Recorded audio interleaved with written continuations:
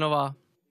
Poslanec a první místo předseda hnutí stány Jan Farský se na pár dní vrátil ze Spojených států a dnes ve sněmovně složil mandát. Uvedl, že nechce předělávat další starosti vládnoucí koalici. Terčem kritiky se stal poté, co jako poslanec odjel na dlouhodobou stáž do Spojených států. K rezignaci ho vyzvala i vlastní strana.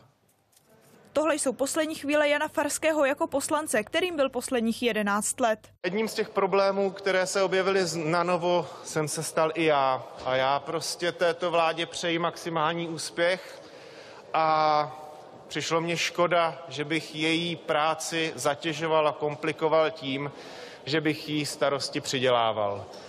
Proto, se, proto jsem se rozhodl, že budu rezignovat na poslanecký mandát a tímto se také podle článku 24 ústavy vzdávám mandátu poslance. Poslední dny měl Jan Farský velmi napilno. Přestože jsme ho o rozhovor žádali dva dny, bavit se s námi nechtěl. Vůbec nestíhám. Klub, odstoupení, hromady technických věcí, předávání agendy. Nemůžu.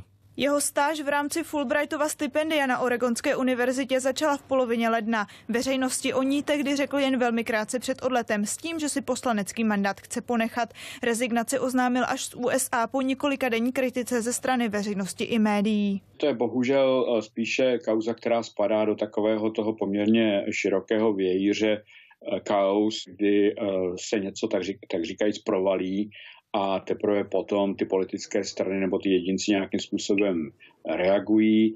Dosti často se teda snaží uh, zatloukat nebo to nějakým způsobem přestat. Oceňuju tohleto gesto, jakkoliv tím, jak se to natahovalo, tak vlastně myslím si, že pan poslanec si sám sobě uškodil. Je to pozdě, protože hlavně od prvního dne neměli podvádět voliče. Eh, hnutí stan i pan Rakušan věděl už před volbami, že pan Farský po volbách má odjet na téměř roční stáž do Spojených států amerických. Stáž v Americe si nakonec Farský protáhne až do září. Co bude dělat po návratu, zatím s jistotou neví. Jana Farského tady v poslaneckých lavicích nahradí ředitelka Libereckého divadla FX Šaldy Jarmila Levko.